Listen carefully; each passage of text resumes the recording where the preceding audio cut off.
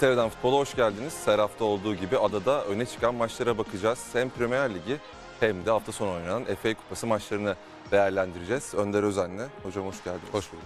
Ee, lig biraz ağır aksaktı. Çünkü FA Kupası maçları, FA Cup maçlarından dolayı e, büyüklerden sadece Liverpool ve Chelsea oynadı. E, FA Kupası'nda da eşleşmeler belli oldu. Wolverhampton United'ı e, eledi. Çok şaşırdığınızı düşünmüyorum çünkü e, Wolverhampton'ı daha önce burada da güzellemiştiniz. Evet, e, bu yıl özellikle tabii ki bir proje ekibi olduğunu e, biliyoruz. Kimilerine çok antipatik gelebilir. Biraz e, çok çok uluslu e, menajerlik ofislerinin de desteğini almış bir e, kulüp olması sebebiyle e, ben özellikle antipatik e, bulabilirim o konuda yatkınlığım var ama her şeye rağmen çok akıllı oyunlar oynadı, oynadıkları bir sezonu geçiriyorlar. E, Metin Hoca da Metin Tekin, sevgili Metin Tekin de zaman zaman takılır Wolverhampton'a özellikle bizim e, bazı programlarda konuşulduğu için dikkatle baktığımız ekiplerden bir tanesiydi. Geçmiş, e, geçti turu. Çok büyük sürpriz olduğunu söyleyemem. Hem bu maçı konuşacağız hem de Premier Lig'deki maçları konuşacağız. İlk olarak neler var programda ona bakalım sonra devam edeceğiz. Liverpool'un zirve inadı sürüyor. Kırmızılar bir ara puan kaybetme korkusu yaşadıkları Fulham deplasmanında 3 puan alarak maç fazlasıyla liderlik koltuğuna oturdu. Chelsea, Everton deplasmanında tutunamadı. Maviler ikinci yarıda yedikleri gollere karşılık veremeyince ilk dört şansını daha da tehlikeye attı. Federasyon Kupası'nda yarı finalistler belli oldu. Swansea'yı geriden gelerek yenen Manchester City adını yarı finale yazdırdı. Manchester United'da düşüş sürüyor. Premier Lig'de geçen hafta Arsenal'e boyun eğen Kırmızı Şeytanlar, Federasyon Kupası'na da Wolverhampton karşısında veda etti. Haftaya damga vuran maçlardan görüntüler, çarpıcı istatistikler, öne çıkan açıklamalar ve detaylı analizlerle İngiltere'den futbol başlıyor. Klasikleşmiş şekilde haftanın sorusuyla başlıyoruz İngiltere'den futbola. Hem izleyicilerimize hem de e, burada Önder Hoca'ya yönelteceğim. Premier Lig'de gol attığı maçlarda en uzun süre yenilgi yüzü görmeyen oyuncu kimdir e, diye sormuşuz. Valla cevabı ben de bilmiyorum. Gol attığı maçlarda en uzun süre yenilgi yüzü görmeyen Milner mı diye düşündüm bir ama. James Milner olabilir mi? Olabilir. Olabilir. hiç kaybetmiyorlar. Milner Olabilir. olabilir diye e, buradan bir cevap verelim. Bir de anketimiz var her hafta sosyal medya üzerinden e, düzenlediğimiz. E, soru şu Manchester United Ole Gunnar Solskjaer'le yola devam etmeli mi? Kendisine tam zamanlı bir kontrat önermeli mi diye soruyoruz. Evet ve hayır şıklarımız var. Programın içinde bu bölümü konuşacağız. Ben hayır cevabını verdim deyip pası Önder üzerine bırakıyorum. Ee, Ben de evet cevabını verdim. O zaman argümanlarınızı merakla e, bekliyorum. Tamam. Manchester United bölümünde e, onu oraya saklayalım ve biz Tamam. Liverpool'la başlayalım. E, Liverpool Fulham'a konuk oldu e, Premier Lig'de ve 2-1 kazandılar.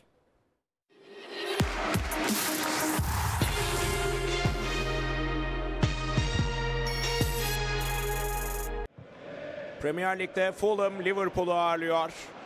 İlk tehlike konuk ekipten Robertson. Kurtardı topu Robertson ceza alanında çıkardı içeriye ancak kaleci sektirmiyor. Sadio Mane. Mane Firmino ile oynadı. Firmino tekrar geriye Sadio Mane. Firmino Mane ortaklığı. Liverpool 26. dakikada öne geçiyor. Mane'nin yüksek formu sürüyor. Gerilerden sert bir vuruş. Orada bir kafa ancak offside bayrağı havada. Ağlara giden bu top gol değeri kazanmıyor.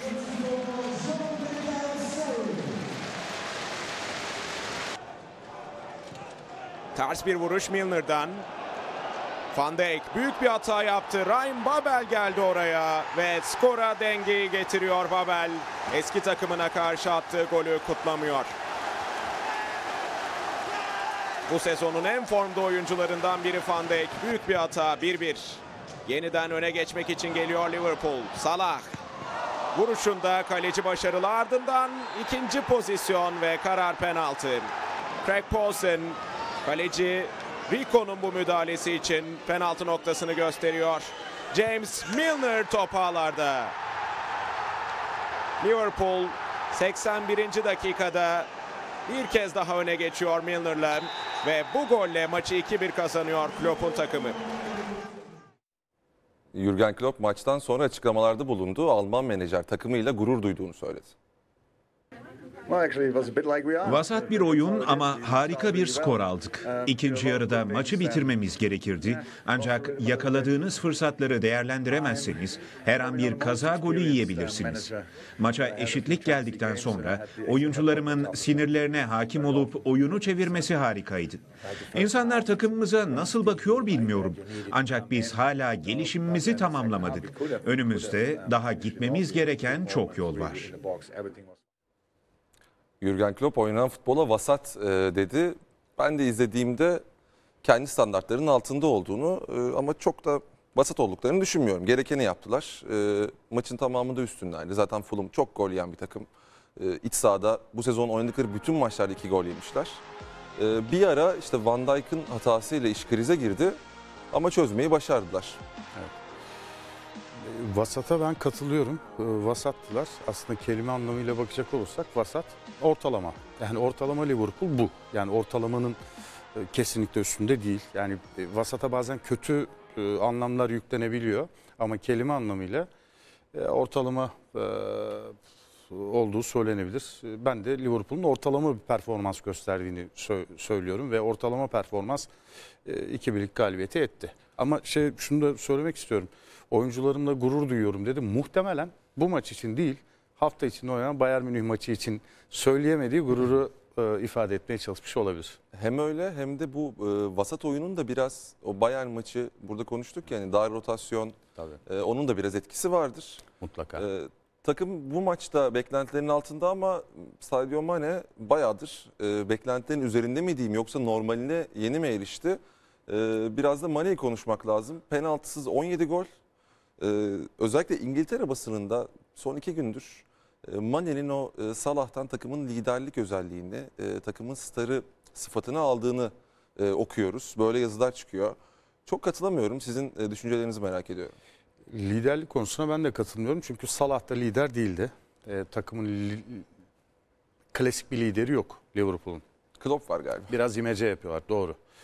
Ama yıldızlık konusu, starlık konusu e, için şu dönem e, söylenebilir.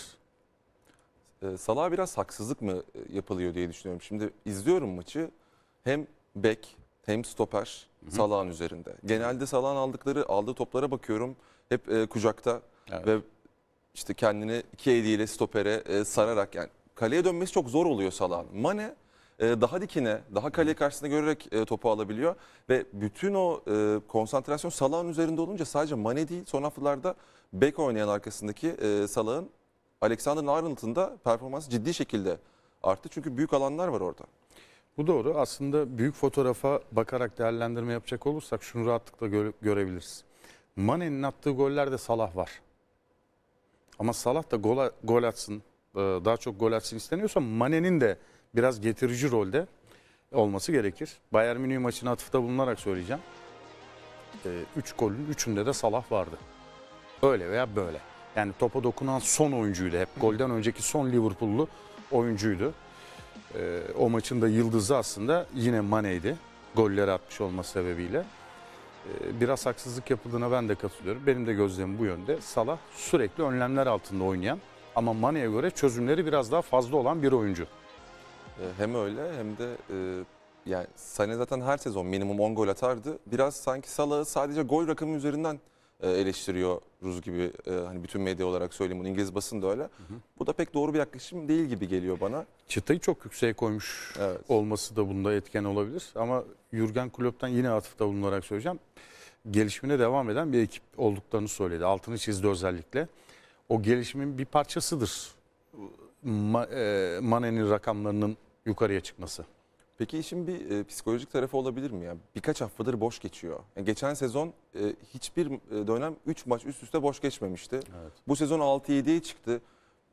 Ya takımda bir e, mentor mü diyeyim artık bir destek verici e, bir bölüm mü diyeyim Salah'la daha mı yakına ilgilense Salah'ın belki de saha dışında bir takım e, konsantre olamadığı noktalar olabilir mi? Çünkü baskı arttıkça Salah boş geçmeye devam ediyor. Baskının artması da oyuncuyu olumsuz etkiler. Bu sebeple bir psikolojik destek gerekebilir ama e, bu konuda biraz destek aldığını zannediyorum. Çünkü bazı maçlarda oyundan alınabileceği bazı maçlarda oyundan alınmadığını gördük. E, bu da desteğin bir parçasıdır. Sana güveniyorum mesajı vermektir aynı zamanda. Kendisine güvenildiğinin farkında. E, burayı aşacaktır. Geçtiğimiz sene sayı çok artmış olması sebebiyle, çıta çok yüksekte kalmış olması sebebiyle zorlanıyor oyuncu. Bu, bu gayet doğal. Başarılı geçen, çok yüksek rakamlarla geçen bir sezonun arkasından böyle performanslar olabilir. Bu maç özelinde bir performans daha var. Ee, Virgil van Dijk'ın performansı. Ee, onun da biraz insan olduğunu hatırladığımız bir andı. Bir hata yaptı. Onun da Piero'su var şimdi gelecek ekranlara. Ee, maç önünde aslında işin hikayesi şu. Babel bir açıklama yapmıştı ve e, Van Dijk'ın bir zaafı var ve kimsenin farkında e, olmadığı bir zaaf. Ben bunu biliyorum ama tabii ki burada söylemeyeceğim dedi İngiliz basınına. Gol bu. Ee, sevinmiyor tabii. O da eski bir Liverpool'lu olduğu için. Ardından maçın ardından sordular zaafı bu muydu diye. Babel hayır dedi. Hala o bende saklı ve e, yine söylemeyi reddetti. E, muhtemelen bu değil zaafı. Çünkü e, stoperlerin ara ara böyle şanssızlıkları olur. Pozisyonu süzemedikleri anlar olur. Ama şunu da unutmamak gerekiyor. Sezon başından beri düzenli oynuyor. Her maçta aşağı yukarı oynuyor. E, çok da özel bir performans ortaya koyarak Bayern Münih maçında çok güzel bir go- kafa golü attı. Skoru 2'ye getiren golü atmıştı. E, böyle ufak tefek hatalar zaman zaman olur. Faturası e, çok ağır ol- olmadı bu maç. Ağır da olabilirdi puan kaybetselerdi ama tahmin ederim top kullanmasıyla alakalı bir zaaftan bahsedecek. Eğer bir gün konuyu tekrar açarsa Babel. Ya ben şöyle düşünüyorum. e, Van Dijk'ın eksisini yazamıyorum. Yani top kullanması da bence buna dahil. Tabii ki çok daha iyi stoperler var. E, bir kere müthiş güven veriyor. Zaten fiziği, sıçrama yeteneği, hava toplarındaki hakimiyeti, pozisyon bilgisi vesaire. Hani hepsini saymayalım ama bir anda bu kadar dünyanın en iyi stoperi e, dedirtmesinin sebebi de bu komplike oluşu. Ben sorunun cevabını bulamadım. Belki dediğiniz gibi bir e, konudur. Top kullanırken yaptığı bazı tercihler olabilir. Yani topla ilk teması olabilir. Yani e, bunu gerçekten usta bir göz. E, bir de tabii vatandaşı aynı zamanda. E, tabii, Daha takımda. dikkatli e, bakıyordur. Antrenmanda görmüştür. E, muhtemelen ant- antrenmanda, milli takımda yakaladığı bir detaydır. E, topla dönüşü olabilir. Yani fix bir dönüş yönü vardır veya ayak içiyle topu alırken fix bir dürttüğü nokta vardır. Kullanıma hazır hale getirmeye çalışırken yaptığı bir tercih vardır. Muhtemelen ondan bahsediyor Babel. Ben de dikkatli bakacağım. Ekleyeceğiniz bir şey yoksa Everton'a e, Geçelim. geçelim. Everton Chelsea'yi ağırladı. İlk yarıda çok zorlandı e, aslında Everton ama ikinci yarıda oyunu çözdü ve Sarri'nin takımını 2-0 yenmeye başardı.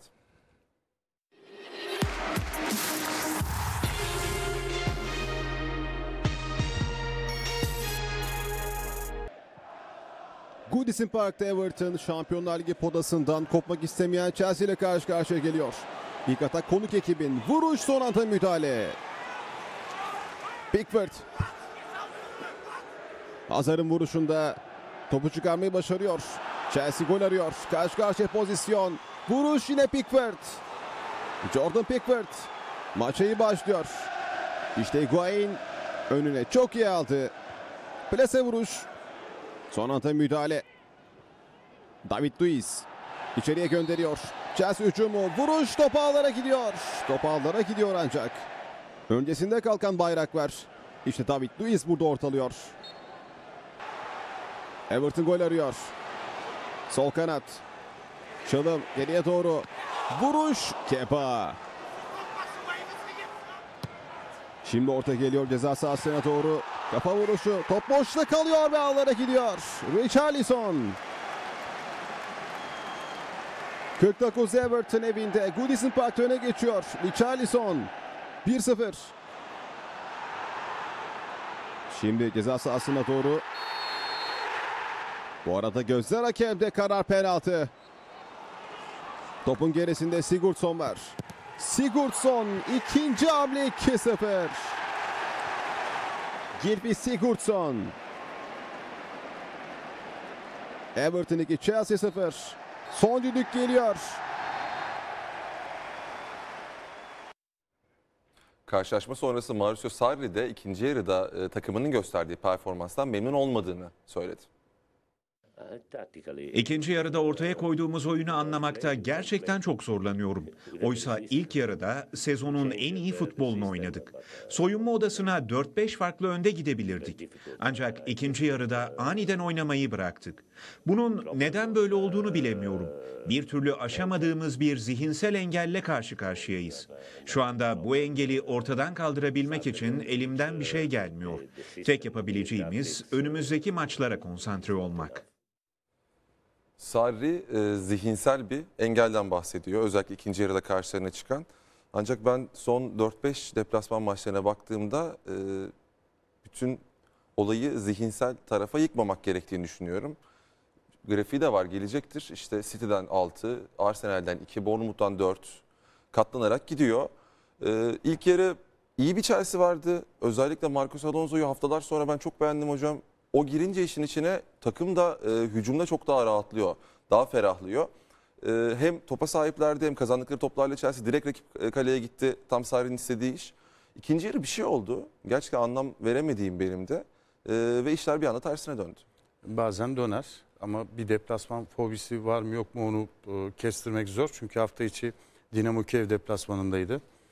E, Marcos Alonso'nun harikulade bir performansı vardı. İki asist yaptı, gol attı. Giroud 3 3 tane mi attı? 4 tane mi? 3 4 Hat-trick yaptı. 3 tane attı. E, kusursuz belki kusursuza yakın bir Chelsea iz- izlediğimi söyleyebilirim ama e, o zihinsel engel değil sağ içindeki bazı engeller e, daha makul geliyor bana açık konuşmak gerekirse. Everton'ın ihtiyaç düzeyi, Chelsea'nin ihtiyaç düzeyi, e, Premier Lig'deki ekiplerin gücü, Chelsea'nin sahada bulabildiği çözümlerin adedi e, böyle düşünecek olursak aslında zihinsel değil biraz daha teknik bazı engeller e, olduğunu da düşünebiliriz. Chelsea'nin deplasman formu evet biraz vasat ama Everton'da e, özellikle büyük altıya karşı 2 yıldır maç kazanamıyor. En son o e, Tom Davies'in müthiş golle City'ye 4 attıkları Guardiola'nın ilk senesindeki maçı kazanmışlardı ve bence Marco Silva da e, Pellegrini ile beraber e, koltuğu sorgulanması gereken menajerlerden biri yani. Puel'in hemen ipini e, kestiler ama bu iki menajere biraz daha zaman tanıyorlar. Böyle bir ortamda e, ya anlayamadığım aslında şu konu var. Mesela Alonso'nun oyuna verdiği katkı, hücum katkısı işte hafta arası iki asisti, David Luiz'in oyun e, kurma becerisi. Bunlar bir yana bu maçta yenilen gollere bakıyorum. Alonso ve Luiz'in hataları var. Ya büyük bir ikilem ikilisi. E, ikisi. Doğru. Ya ileride verdikleri katkı mı yoksa geride sizden eksilttikleri mi e, dengeliyor inanın çözebilmiş değilim. Chelsea'nin sonuç aldığı maçlarda yüksek skorlu oynayarak sonuç aldığı, çok gol attığı maçlarda e, Luis de Marcos Alonso da ön plana çıkıyorlar. Savunma oyuncusu olmalarına rağmen hücumda kattıklarıyla öne çıkıyorlar. Bu doğru. Ama oyuncuların zaten asıl özellikleri bunlar. Yani savunmacılar savunmada oynuyorlar. Temelde pozisyonları savunmada ama e, teknik becerileri çok daha yüksek. Oyunu tamamen rakip yarı alanda ve hücum temelli oynadıklarında e, harikulade performanslar ortaya çıkıyor. Ama biraz savunmacılık gerektiğinde Chelsea efor olarak çok yüksek efora çıkamadığında, rakip yarı alanda daha az kaldığında, gitgelli oyunlar ortaya çıktığında iki oyuncunun da savunma defaları ortaya çıkıyor. Tabii Evet. bir Hakan Güleç olsaydım daha detaylı bir cevap verebilirdim ama e, benden bu kadar geldi. Aslında benzer, e, Hakan abi de bunun Öyle mi? benzer Öyle e, mi fikirlerine sahip. Yani E, o hatta David Luiz'i daha da savunma yönünü e, eleştirir genelde. Ben e, Cenk konusuna da biraz sizle girmek isterim. E, şimdi Dominic Calvert-Lewin bir süredir Everton'ın 9 numarası. İşte sezon başında Richarlison oynadı ki Marco Silva için bir evlattır. 50 milyona getirdi. E, bu maçtan sonra da Calvert-Lewin'i övdü Marco Silva. 9 numara olmak zordur dedi. E, ben bireysel yetenek olarak Calvert-Lewin'den daha ileride olduğunu düşünüyorum. Hem bitirici vuruşu e, hem top tekniği de buna dahil. Ama Calvert-Lewin'in hem iyi bir hızı var, çok hızlı bir oyuncu açık alanda hem de hava toplarında da etkili. E, Cenk sezona ilk tercih olarak başlamıştı. Richarlison'un onun formasını almasını anlayabilirim. Çünkü orada bir sahte doku sistemi var. Başka bir şey oynanıyor. Ama e, Calvert-Lewin'in arkasında kalmasını pek anlamlandıramıyorum. Premier Lig'de bu seviyedeki ekipler için, Everton seviyesindeki ekipler için e, hücumda hız daha önemli. Bunu kabul edelim. Yani süper teknik becerilerle donanmış bir oyuncu yerine atletik becerileri daha gelişmiş bir santfor zaman zaman tercih edilebilir. Katılıyorum. Hem öyle hem de topla da e, dribbling yapabilen oyuncuları hep konumlandırıyor e, Marco Silva. Ama Cenk'in kariyerine bakınca da ben e, inat edeceğini, burada deneyeceğini ve hiçbir şekilde takımdan ayrılmayı düşünmeyeceğini e, düşünüyorum.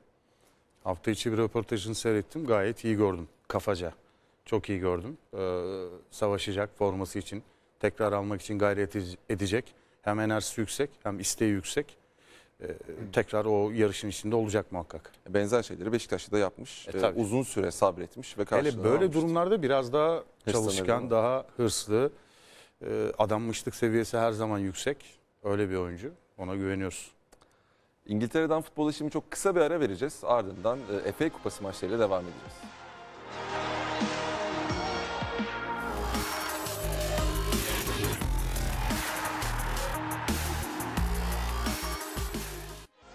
FA Cup'ta e, çeyrek final maçları hafta sonunda oynandı. E, Brighton, e, Watford, City ve United yarı finale kalan takımlar oldu. Biz Wolverhampton United maçıyla başlayacağız. Programın başında da ufaktan değinmiştik. Wolverhampton benim de çok severek takip, et, takip ettiğim, izlemekten keyif aldığım bir takım. Biraz onları Premier Lig'in plastik kulübüne benzetiyorum. Leipzig'e derler ya hani plastik Evet. kulüp diye. İşte bunun sebebi de e, Portekiz e, takımı ve e, bunları idare eden bir menajer olması. Onlar da en azından bu ligde biraz plastikler. Bu maç çok iyi oynadılar. Çok pozisyona girdiler.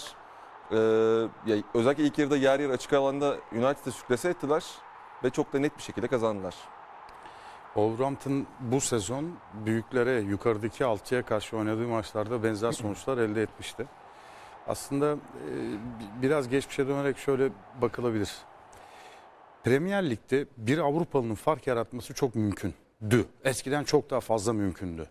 Yani Britanya'da oynanan futbolun şekli yüzünden, çok muhafazakar olmaları yüzünden, topun aşağıdan oynanmaması, oyunun çok yukarıdan oynanması yüzünden ve taktik olarak çok zengin bir lig olmaması yüzünden fark yaratmak mümkündü. E, Artık bir, bir- biraz azaldı çünkü Batı Avrupalı antrenörler çok sayıda antrenör oraya gitti. Bazı Güney Af- e, Amerikalı antrenörler e, İngiltere'de çalışıyorlar. Futbol orada teknik anlamda, taktik anlamda çok zenginleşti. Kulüpler zaten zengindi. Star oyuncuları zaten vardı.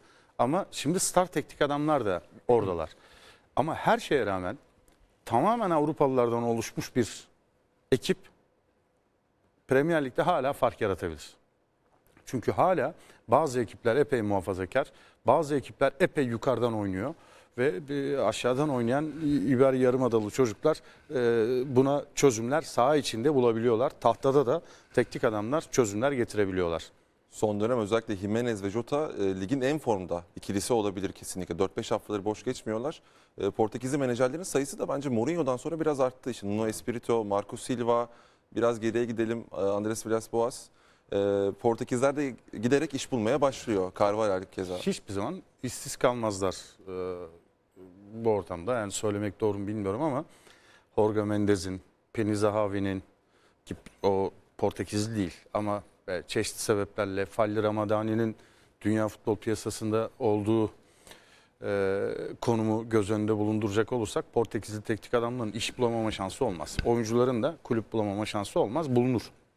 Çünkü e, bu zirvedeki e, menajerler e, bir yeri boşaltıp oraya yani kelebek etkisiyle her yeri tekrar doldurabiliyorlar. Portekizli antrenörlerin sadece çok yetenekli olmaları değil, çok iyi networkleri olmaları da olması da Premier Lig'de iş bulmalarını sağlıyor bir tarafıyla. Zaten Espirito'nun hem futbolculuk hem menajerlik kariyerini biraz Mendez'e borçlu olduğunu söylesek e, çok yanlış olmaz. Anketin sonuçları gelmiş. E, Twitter'dan yaptığımız anketin ona bir göz atalım. United'ın e, Solskjaer'e tam zamanlı bir kontrat önermeli mi önermemeli mi United e, Solskjaer'e bunu sormuştuk. Açık ara 84 %84 ile evet önümüzdeki sezon itibariyle United'ın menajeri Solskjaer olsun e, demiş izleyicilerimiz. Ben katılmıyorum. Hayır'a e, oy attım. Dinleyelim. %90 olacağını düşünerek e, aslında biraz şöyle e, bu sezon sakatlıkları bir kenara koyarak bunları bilerek söylüyorum. Hı hı. E, özellikle işte PSG maçı vesaire.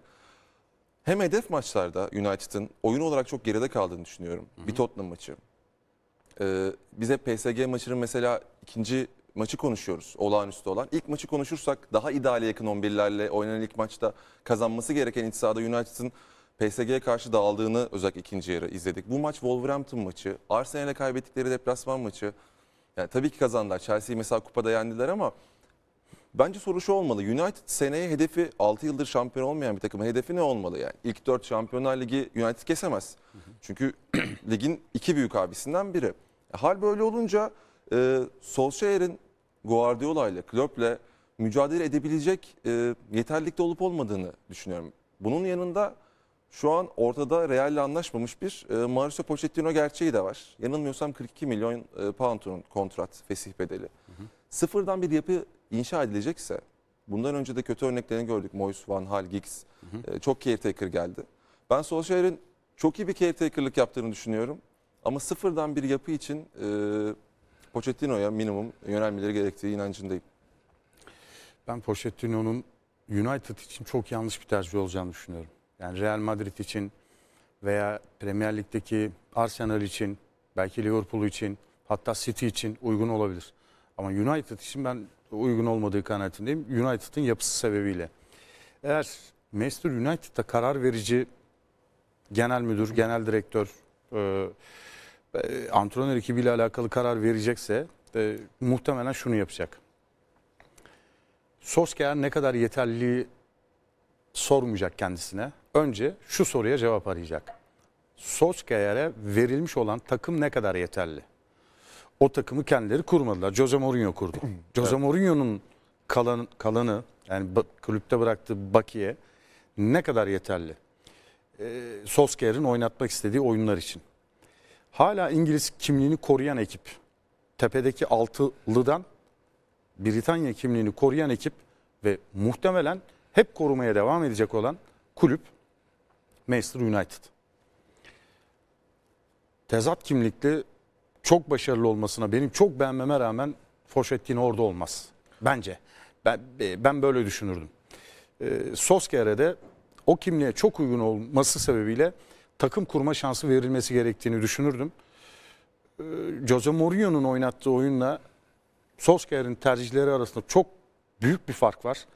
Kendi oyun anlayışına uygun birkaç transfer yapmasına izin verilmeli ve minimum bir yıl bakılmalı. Bunu hak ettiğini, fazlasıyla hak ettiğini sadece Manchester United performansına değil, ülkesindeki performansına bakarak da söylüyorum. Oyunu geliştirdiğini tabii ki söyleyebiliriz e, Solskjaer'in ama tabii Mourinho sonrası da e, bu biraz normal yani takım gerçekten bayağı dağılmış bir haldeydi. Bugün e, basında yine yabancı basında bir Zlatan İbrahimovic röportajı vardı. O da e, şöyle söylüyor bu post e, Ferguson döneminden sonra artık tamamen e, Alex Ferguson'dan kurtulup yepyeni bir menajerin gelip e, kalıntılardan uzak bir karar vermesi gerekiyor diyor. Tabii ki şimdi Solskjaer varken Ferguson'ın hala işin içinde olduğunu biliyoruz. Bir sportif direktör gelecek. İşte PSG maçı sonrası Lukaku çıktı. Bayağı e, Gary Neville'la yaptığı röportajda devam etmeli Solskjaer dedi. Rashford keza. E, şu an oluşan hava özellikle Mourinho'dan bıkmış takımdan sonra evet e, hiç fena durmuyor. Sonuçlar hiç fena durmuyor. Ben e, Solskjaer'in yaptıklarına tabii ki e, yanlış diyemem. Ama bence United'ın bir tane daha e, yanlış tercih ya da bir iki sene daha kaybetme lüksü olmadığını düşünüyorum. Çünkü 6 yıl kayıp. Britanya kültürlerine devam edeceklerse evet sanırım daha iyi bir opsiyon yok. E, ama ben yine de sıfırdan inşayı bambaşka bir isimle yapmaları gerektiği inancındayım. Ben asıl onun büyük bir risk olduğunu düşünüyorum ve maliyetinin çok ağır olabileceğini e, düşünüyorum. E, yönetici olsaydım ben Solskjaer'e mutlaka United'da şans verirdim. Başka bir İngiliz kulübünde değil belki ama United'da mutlaka bir kontrat alması gerektiğini düşünüyorum. Takımı dizayn etme şansı verilmesi gerektiğini düşünüyorum. Hem siz hem izleyicilerimizin çoğu hem de e, United takım zaten genel algıda bu. Ben de zaten e, eninde sonunda verileceğine inanıyorum. Muhtemelen seneye Solskjaer'e devam edilecektir. E, City maçına geçeceğiz. E, City Swansea'yı 2-0 geriden gelip 3-2 yendi FA Cup e, çeyrek finalinde. Burada tabii aslında dikkat çekmemiz gereken konu mesela bir önceki maç United maçı e, Lindelöf'e verilen kırmızı kart. FA Cup ve e, Lig Kupası'nda VAR sistemi var bu sene İngiltere'de. E, Lindelöf'e verilen kırmızı kart sarıya çevrilmişti VAR sebebiyle. Bu maç e, hem Sterling'in penaltısı hem de Agüero'nun açık olan offside golü VAR sistemine gitmedi. Çünkü Swansea'nin e, Liberty Stadyumunda e, VAR sistemini karşılayabilecek bir altyapı yok. Ya bu maç belki City'de oynansaydı e, VAR sistemi devreye girecekti ama burada enteresan bir sonuç oldu açıkçası. Yani iki tane ben haksız e, golle elendiklerini düşünüyorum. Maçın genelinde ama City'nin çok net olduğunu, Swansea'nin iki şutunun kaleyi bulup ikisini de e, gol bulduklarını söyleyebiliriz. Oyun olarak netlerdi. Evet. İşte bir şekilde final oynama becerisidir bu aynı zamanda. Yani en azından o seviyede Manchester City e, geri dönmeyi başarabiliyor. 2-0'dan dönmek de meseledir böyle maçlarda. O dönüşü başarabildi. E, Zorlu geçmese de çok yüksek tempoda geçen bir hafta içi e, Şampiyonlar Ligi mesaisi de vardı. 7-0'lık çok spektaküler bir galibiyet de vardı. E, City'de de kadro daha geniş. Liverpool'a göre çok daha iyi bir rotasyonu olduğunu söylüyoruz ama iki maçın kadrolarına bakacak olursak aslında benzer kadrolarla çıktıklarını, yorucu olduğunu da söylememiz yerli yerinde olur herhalde. Evet bir Agüero Sterling oturdu ama e, mevcut kadroda özellikle Bernardo Silva'nın bu sezon oynadığı top gerçekten e, sezon başında beklenenin çok uzağında. Yani Fernandinho'yu bir kenara koyun. O ilerideki 5 oyuncudan Sterling ve Agüero ile beraber bence forması garanti. David Silva'nın bile önünde top oynuyor. Doğru. Yine harikaydı bu maç ve birden fazla işi yapabilmesi onu e, çok çeşitli bir oyuncu haline getirdi. Doğru.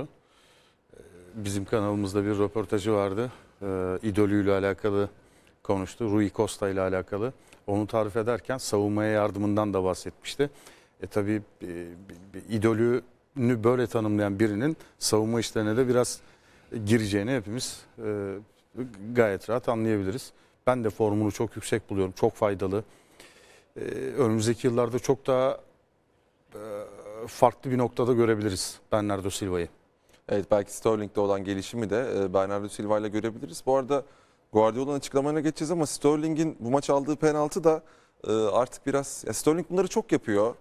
Yani çok eleştiriliyor. Özellikle basın onu e, aldığı paralar üzerine eleştirdim. Sahalarda ırkçılıkla eleştirildi. Bunun üzerine çıkıp e, çok duygusal açıklamalar da yaptı Sterling. Zor zamanlardan geçti. Ama bu sezon 3 kulvarda aldığı böyle 5. 6. tırnak içinde yalan penaltı oldu Sterling'in. E, var devreye girince bakalım bunlar olacak mı onu bekleyip göreceğiz. Bunlar sarı kartta olabilir tabii o, o günden sonra.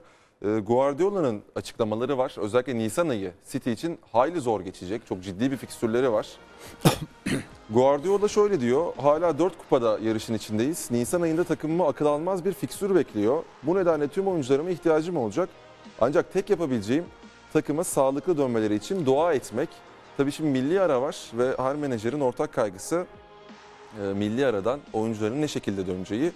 Guardiola da aslında e, mesaj mı veriyor? Çok mu diyor bu milli maçlar? Biraz kısaltsak mı diyor? E, bundan zaten zaman zaman şikayet etmişti. Bunu hepimiz hatırlıyoruz. Klopp'un da, e, Guardiola'nın da milli maç haftalarında biraz endişeli olduklarını biliyoruz. Ama e, 4 Nisan ayında fikstürün çok sıkışık olduğunu söylüyor ama bu Nisan'ı hep hatırlayacaktır. Seviyor. Hep yarışın içinde olmak istiyor. Her yerde yarışmak istiyor. Ee, Bayılacağı bir Nisan'da bekliyor eğer oyuncuları sağlam dönerse. Bazı oyuncuları da kıtalar arası uçacak tabii ki. Yani. E, tabii Çok ki. uzak gidecek gelecek milli maçlara. Güney Amerikalılar var. E, burada da Nisan'da 3 tane Tottenham e, maçı var. Ya bir tane United deplasman ne olursa olsun kupa maçları var ve Şampiyonlar Ligi'nde eğer bir tur atlarsa e, yarı final eşleşmesi de hemen bu Burnley maçından sonra olacak. Gerçekten işi hayli zor e, Pep Guardiola'nın. Son olarak FA Cup'ta yarı final eşleşmelerine bakalım. Millwall e, Brighton maçı da müthiş keyifliydi. 2-2'den uzadı e, ve penaltılarda turu geçen Brighton oldu. City'ye konuk oluyor Brighton. Wolverhampton'da e, Watford karşısında FA Cup yarı finallerinde. Bu böyle. nereye veririz kupayı? Ya ben Wolverhampton kazansın istiyorum ama beni korkutan konu Wolverhampton'ın e, kendi ayarındaki takımlara karşı tanınmaz halde oynaması. Evet öyle bir sorun çıkabilir. Ya- Yani City Wolverhampton finalinde tabii ki City favoridir ama Wolverhampton'a şaşırmayız. Eğer öyle bir final olursa burada da konuşuruz ama. Ben de Wolverhampton'ı ne olursa olsun finalde göreceğimizi düşünüyorum. O zaman çok kısa bir e, ara rica edeceğim bir kez daha izleyicilerimizden. Ardından Mourinho'yla onun açıklamalarıyla devam edeceğiz.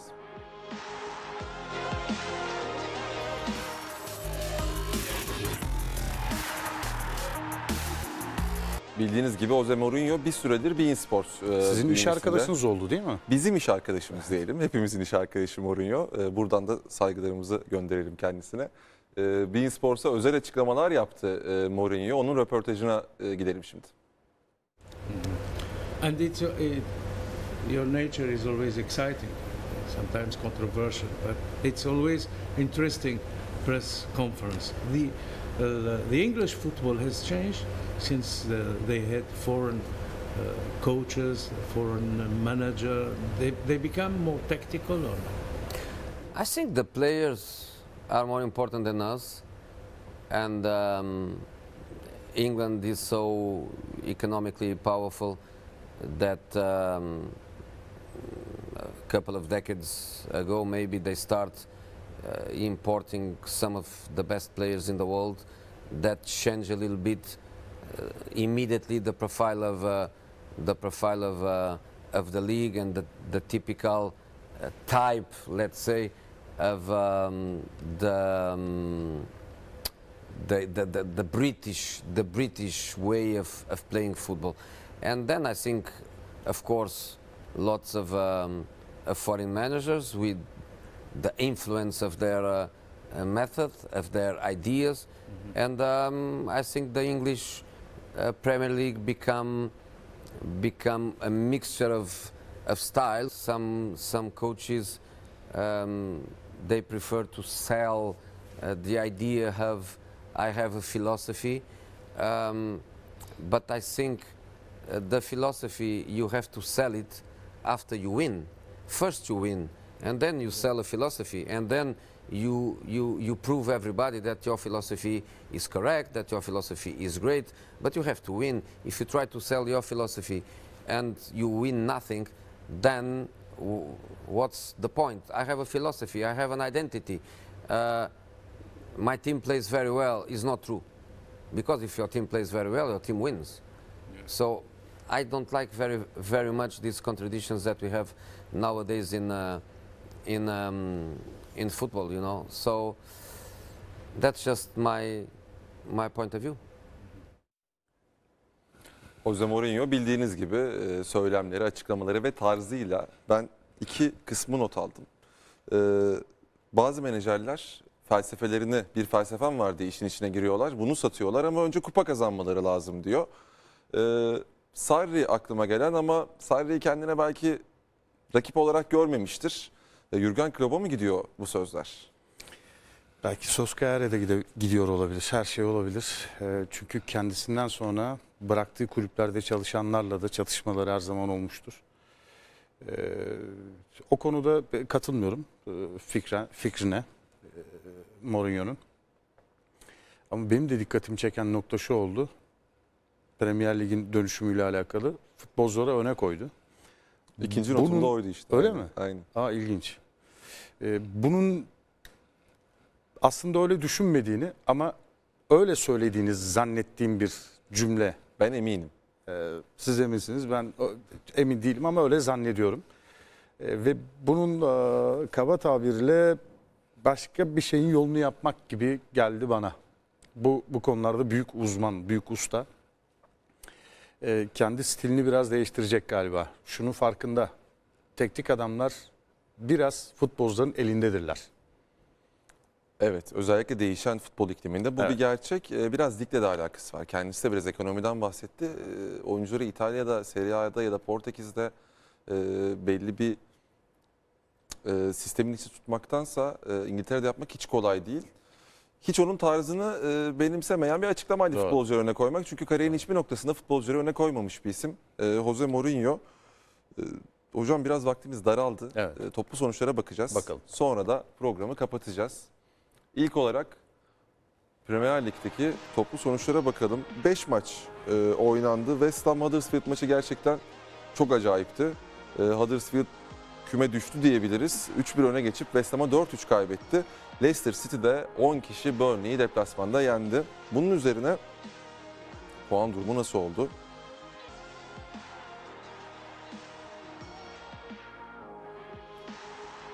Liverpool maç fazlasıyla şu an lider.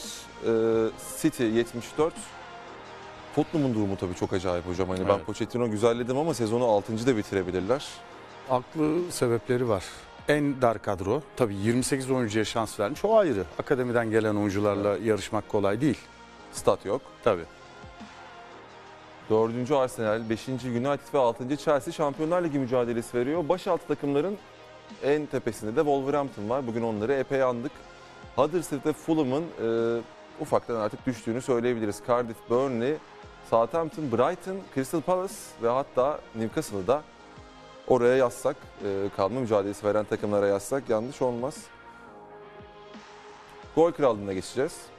Gol krallığında tabii 5 maç oynandı. Çok tablo değişmedi. Bir kişi hariç Sane artık e, O kralların listede. arasında yer alıyor. 17 golle Agüero 18 golle hala zirvede. Açılışta sorduğumuz haftanın sorusuna geri dönüyoruz. Milner'da ortak cevabımız. Bakalım Premier Lig'de gol attığı maçlarda en uzun süre yenilgi yüzü görmeyen oyuncu hangisiymiş? Cevap gelir mi? Gelecektir. James Milner. 51 maç. 51 maç. Ee, ya şeyi hatırlıyordum çünkü gol attığı hiçbir maçı Liverpool'un kaybetmediğini hatırlıyordum. Ee, James Milner 51 maç gol atmış ve bunların hiçbirini Liverpool kaybetmemiş. Önder Özen çok teşekkür ediyorum. Ben Ağzınıza teşekkür sağlık. Sağ olun. Ee, değerli yorumlarınızla ve katkılarınızdan ötürü. İngiltere'den futbolu noktalıyoruz. Haftaya e, salı günü aynı saatte görüşeceğiz. Hoşçakalın.